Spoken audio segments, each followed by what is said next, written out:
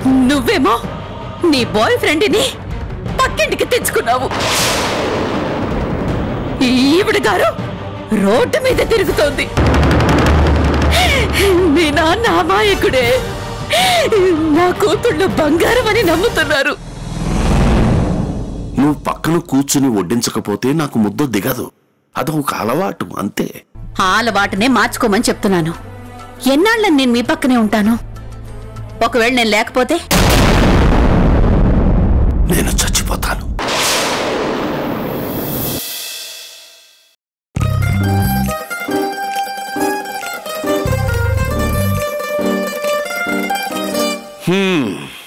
సరిపోయింది. నిన్నటిదాకా నేను పట్టుకున్న ఈ పుస్తకం ఆ పెన్ను ఇప్పుడు నువ్వు పట్టుకున్నావా?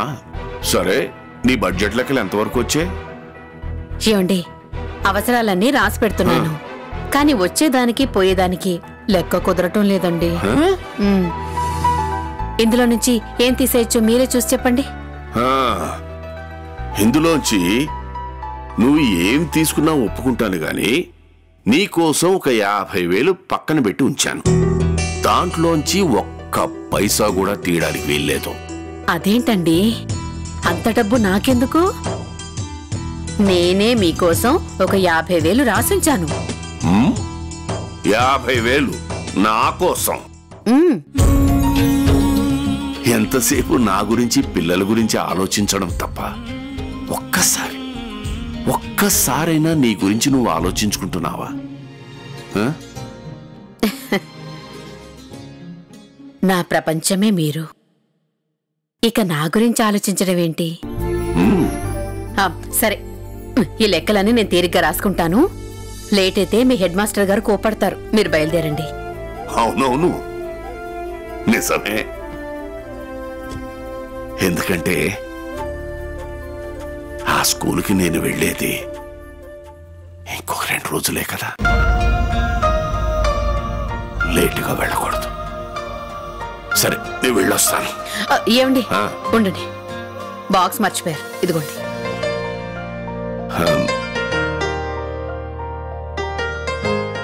కస్తూరి. ఏంటండి? నా కంటపడకూడదు అని నువ్వు దాచిన ఆ డాక్టర్ చీటీ. పొరపాటున కంటపడిపోయిందోయ్.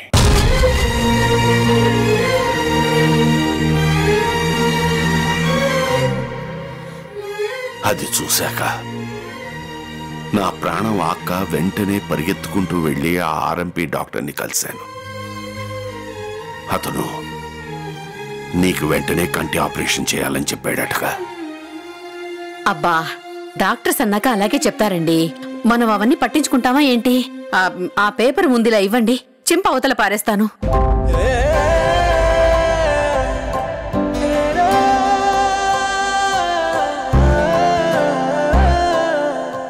కస్తూరి నీలో నాకు నచ్చేదేమిటో తెలుసా? ఈ కళ్ళు.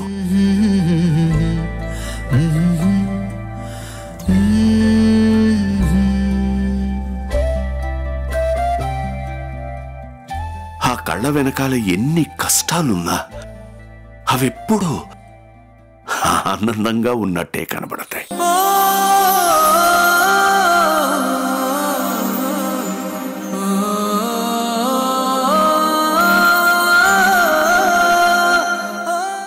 నాకిష్టమైన ఆ కళ్ళని దయచేసి అశ్రద్ధ చేయొద్దు. వెంటనే డబ్బు రాగానే నీకు ఆపరేషన్ చేయిస్తాను. ఈ ఒక్కటి మాత్రం నీ లెక్కలోంచి తీయద్దు. ప్లీజ్. వెళ్ళొస్తాను.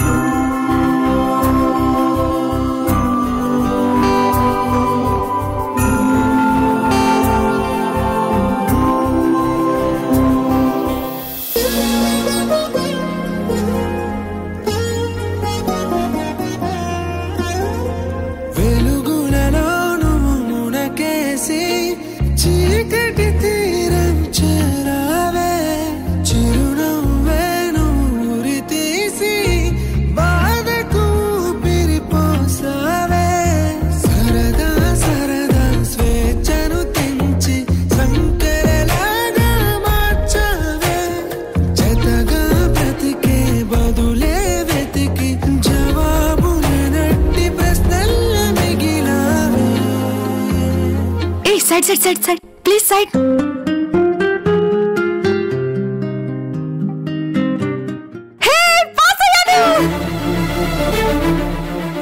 ఇదేంటి? నోటీస్ బోర్డు మీద నా నెంబర్ లేదు. ఫెయిల్ అయితే లిస్ట్లో నెంబర్ ఎలా ఉంటుందే? ఏ ఆద్య వాట్ ఏ మిరాకిల్? నువ్వు పాస్ అవడమే కష్టం అనుకుంటే నువ్వు college topper వచ్చావే. How is it possible hey ఇందులో మిరాకిల్ ఏముంది? చదివాను పాస్ అయ్యాను. నేను రాయించడానికి ఎంత కష్టపడ్డానో నీకేం తెలుసు? రాయించడమా? ఆ- అదే రాయడానికి ఎంత కష్టపడ్డానో అంటున్నాను. వెళ్ళి నాలా బుద్ధిగా చదువుకో. వెళ్ళు. అవని? నమస్తే మేడం. నమస్తే. Sorry madam. ఈసారి నేను సరిగ్గా ప్రిపేర్ అవ్వలేదు. ఇట్స్ మై ఫాల్ట్ ఫాల్టా? ఫేటా? మేడం. అవని ఈ కాలేజీలో చదివే స్టూడెంట్స్ అందరూ పాస్ అవ్వాలని రూల్ లేదు. ఎంతో మంది స్టూడెంట్స్ ఫెయిల్ అవుతూ ఉంటారు. కానీ అవని లాంటి మెరిట్ స్టూడెంట్ ఫెయిల్ అవడం అంటే చాలా రేర్. మా టీచింగ్ స్టాఫ్ అంతా నీ గురించే బాధపడుతున్నారు. కాలేజ్ నోటీస్ బోర్డులో ఉండవలసిన నీ పేరు. ఇప్పుడు అందరి నోట్లో నాంతోంది. అవని ఫెయిల్ అవడం ఏంటా అని. స్టూడెంట్ ఫెయిల్ అయితే మీకంటే ఎక్కువగా లెక్చరర్గా మేమే ఎక్కువ బాధపడతాం. నువ్వు ఫెయిల్ అయి మమ్మల్ని అందరినీ బాధ పెట్టావు అవని. సారీ మేడం అవని నువ్వు పక్క వాళ్ళని గెలిపించాలనుకుని నిన్ను నువ్వు ఓడించుకోవటం చాలా తప్పు. ఆన్సర్ షీట్లో హాల్ టికెట్ నెంబర్ మార్చటం ఈజీ ఏమో కానీ ఒక్కసారి చేజారిపోయిన ఇయర్ని తిరిగి సంపాదించుకోవడం చాలా కష్టం.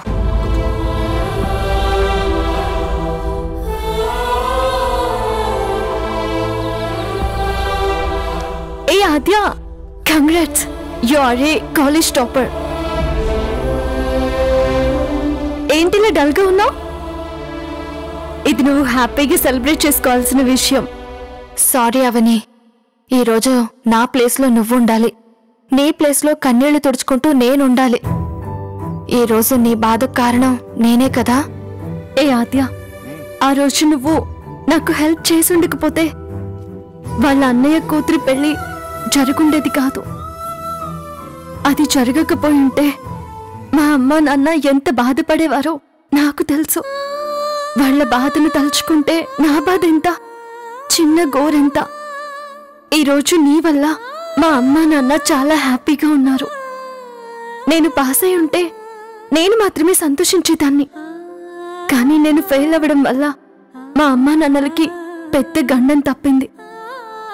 ఇప్పుడు చాలా సంతోషంగా ఉన్నారు. వాళ్ళ సంతోషం ముందు నా సంతోషం ఎంత ఆద్య? నిజంగా నువ్వు చేసిన సహాయాన్ని నేను ఎప్పటికీ మర్చిపోలేను. చాలా thanks Aadya.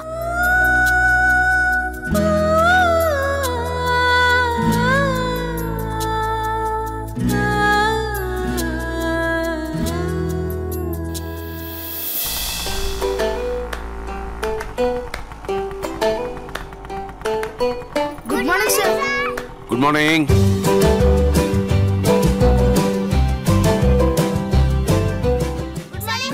good morning good morning good morning good morning good morning good morning good morning good morning sir good morning నాన్న good morning good morning sir good morning good morning sir good morning sir ఈ విషయం సూర్యంకి ఎలా చెప్పాలో ఏంటో నాకు అర్థం కావటం లేదు తెలిస్తే ఎంత బాధపడతాడో ఏమో good morning sir good morning sir good morning sir sir. ఒక నిమిషం. Good morning sir good morning ఒక నిమిషం రండి సార్. ఎందుకురా? రండి సార్ చెప్తాను. రండి రండి సార్. రండి. ఇలా రండి. ఒరేయ్ నువ్వు పక్కకు తీసుకొచ్చి మాట్లాడుతున్నావంటే ఖచ్చితంగా డబ్బుల కోసమే ఉంటుందిరా నా దగ్గర పది రూపాయలు ఉన్నాయి కావాలంటే తీసుకో. సార్ సార్ సార్ సార్ ముందు నేను చెప్పేది వినండి సార్. ఏంట్రా? ఈ రెండు రోజులు లీవ్ పెట్టి ఇంట్లోనే కూర్చోండి సార్. ఎలాగూ రిటైర్ అవబోతున్నారు కదా. శాలరీ కూడా కట్ కాదు సార్. బుద్ధుండి మాట్లాడుతున్నావా? అసలు నీకు బుద్ధుండి మాట్లాడుతున్నావా? ప్రతిరోజు స్టాఫ్ రిజిస్టర్లో సైన్ చేయాలి. ముందు దాన్ని ప్రిపేర్ చేయాలి. వచ్చే నెల ఎగ్జామ్స్ వాటికి సంబంధించి పేపర్లు రెడీ చేయాలి. చాక్ పీస్లు అయిపోయి వాటికి ఆర్డర్ ప్లేస్ చేయాలి. డస్టర్లు పాడైపోయి రిపేర్ చేయాలి. ఇన్ని పనులు పెట్టుకుని నన్ను ఇంట్లో ఖాళీగా కూర్చోమంటావా? ఏ ఉచిత సలహాలు ఇచ్చేవంటే చంపేస్తా జాగ్రత్త. అది కాదు సార్. నేను చెప్పేది వినండి సార్. పోరా. సార్. రమేష్ ఒరే పని దైవంతో సమానం రా అది గుర్తుపెట్టుకో. ఆ?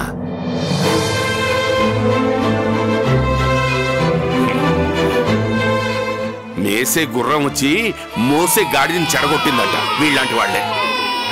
ఏ జాగ్రత్త జాగ్రత్త పరిగెట్టద్దు.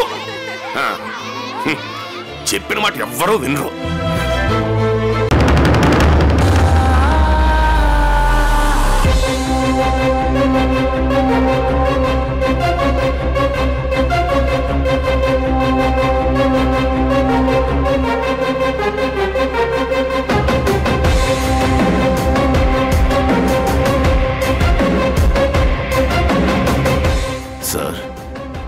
చెప్పండి. నా పేరు సూర్యం. మీరు కొత్తగా రిక్రూట్ అయిన స్టాఫ్ అనుకుంటాను. ఈ టేబుల్ చేరు నాకు కేటాయించింది. ఏళ్ళ తరబడి నేను ఇక్కడే కూర్చునేవాణ్ణి. Suryam? Good morning sir. Very good morning to you sir. Sir ఈయన కొత్తగా రిక్రూట్ అయిన స్టాఫ్ అనుకుంటాను. తెలియక నా కుర్చీలో కూర్చున్నారు. సూర్యం తెలిసే కూర్చున్నారు.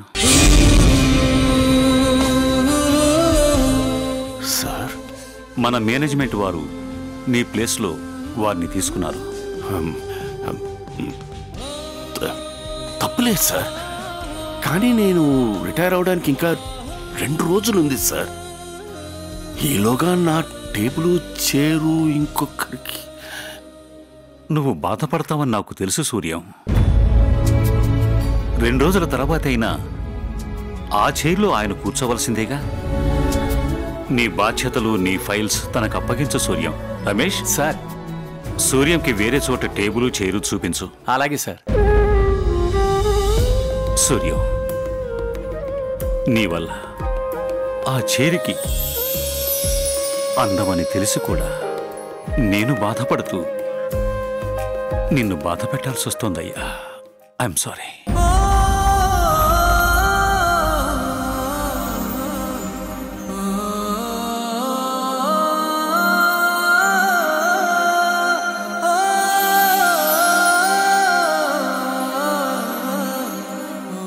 సార్ లైబ్రరీ పక్కన ఓ ఖాళీ టేబుల్ చైరు ఉంది. అక్కడ నీ ఇష్టం రా.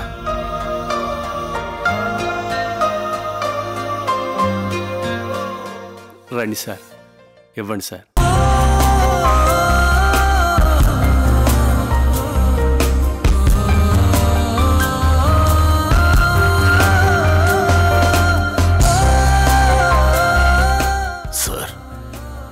మనుషులకి జంతువులకే కాదు సార్. వస్తువులకు కూడా ప్రాణం ఉంటుంది అని చెప్పడానికి. ఈ టేబుల్ ఆ చేరే నిదర్శనం సార్. దీని మీద ఒక చిన్న టీ మరక పడినా నేను తట్టుకోలేకపోయేవాడిని సార్. నాకు ఇదిగో ఈ రమేష్కి అక్కడే గొడవ వచ్చేది సార్. నాదొక చిన్న విన్నపం సార్. ఇన్నేళ్ళలో ఈ టేబుల్ మీద ఒక చిన్న టీ మరక కూడా పడనివ్వలేదు సార్. ఇక మీదట కూడా మీరు అలాగే జాగ్రత్తగా చూసుకోండి సార్. నా భార్య నా పిల్లలు ఈ టేబులే సార్.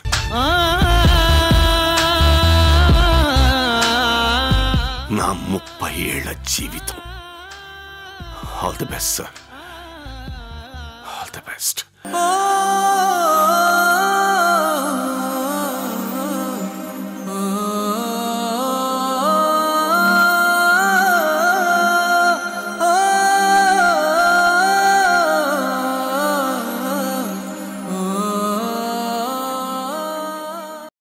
Murthy garu ఎంత బాకీ? ఏమోనండి. రవి గారు? రవి గారు కూడా ఇవ్వాలండి. బాబాయ్? అమ్మా కస్తూరి రామ్మా. దా కూర్చో. తీసుకోండి బాబాయ్. ఇవన్నీ ఇప్పుడు ఎందుకమ్మా? పర్వాలేదు తీసుకోండి. కూర్చో తల్లి. ఆ.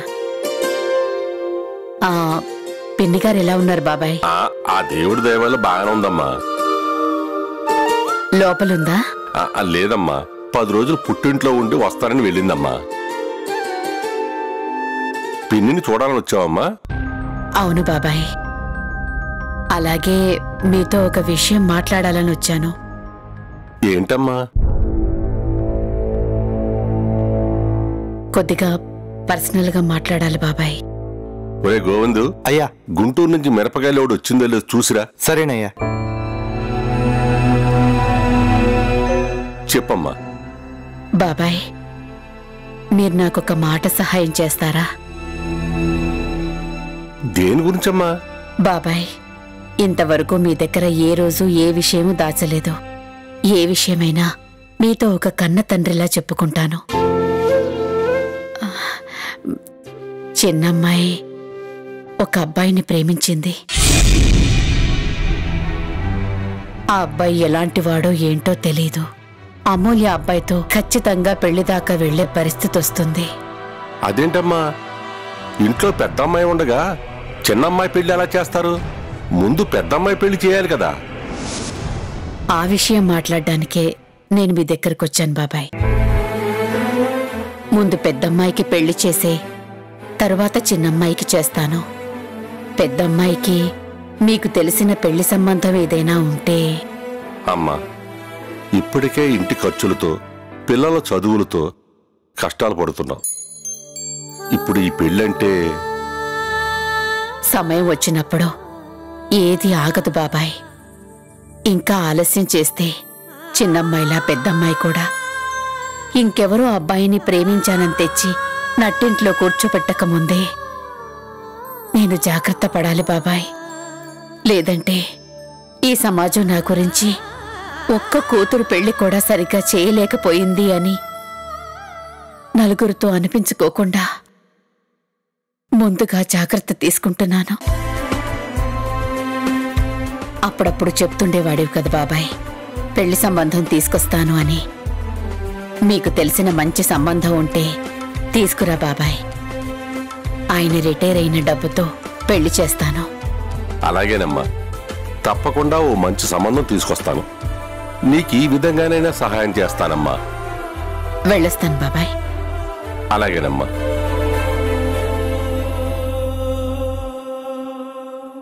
ఎన్నాళ్ళు చిరిగిపోయిన బట్టలు తెగిపోయిన చెప్పులే నీ కష్టాలనుకున్నాను కస్తూరి. కాని ఎవరికీ చెప్పుకోలేక నీలో నువ్వే కుమిలిపోయే బాధలొస్తాయని నేనెప్పుడూ అనుకోలేదమ్మా. నీ నుదుటి మీద కష్టాలు రాసిన ఆ దేవుడు సంతోషాన్ని రాయటం మర్చిపోయాడేమోనమ్మా.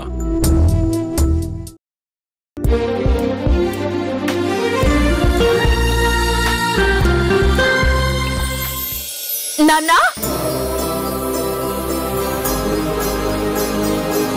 హ! నాన్నా? భాను?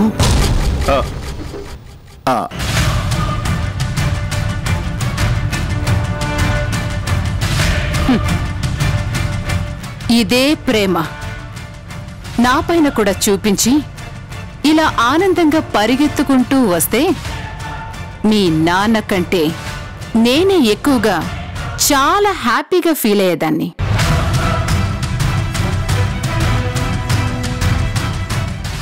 మీ నాన్న దగ్గర ఉందేంటో? నా దగ్గర లేనిదేంటో? నాకు అర్థం కావడం లేదు.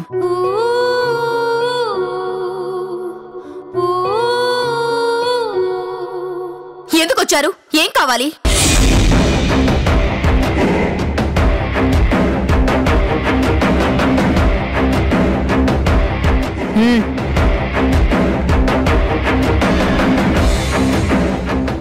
వీటి మీద నీ సంతకం కావాలి. ఏంటి? ఆస్తి పేపర్ల మీద నేను సంతకం పెట్టాలా? మీ చిల్లి గవ్వ కూడా నాకొద్దు.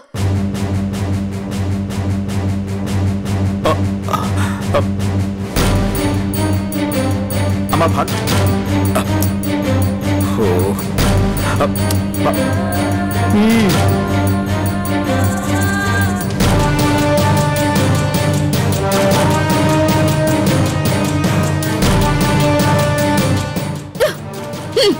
ఇంకెప్పుడు హాస్టల్కి నా దగ్గరికి రావద్దు. భాను ఇప్పుడు నువ్వు సంతకం పెట్టింది దేని గురించో తెలుసా?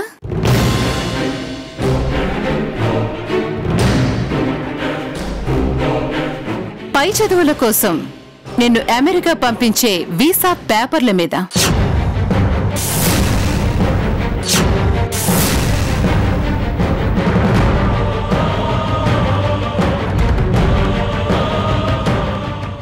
ఇక నువ్వు రమ్మన్నా మేము రాం.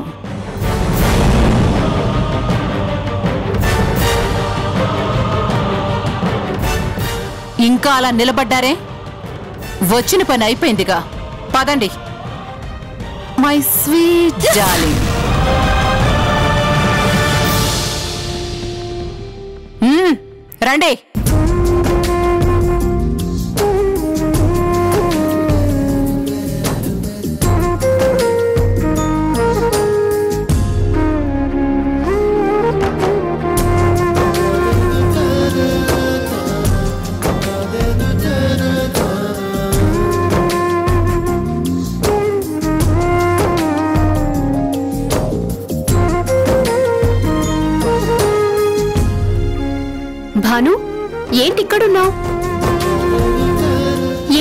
మాట్లాడుతున్నావు? ఏమైంది? ఏం లేదు. సరే పద.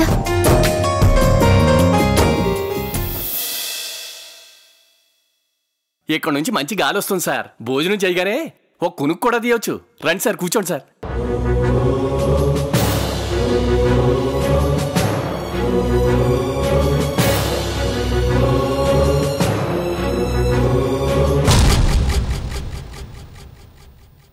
పని మనుషులు పని మనుషులాగే ఉండండి.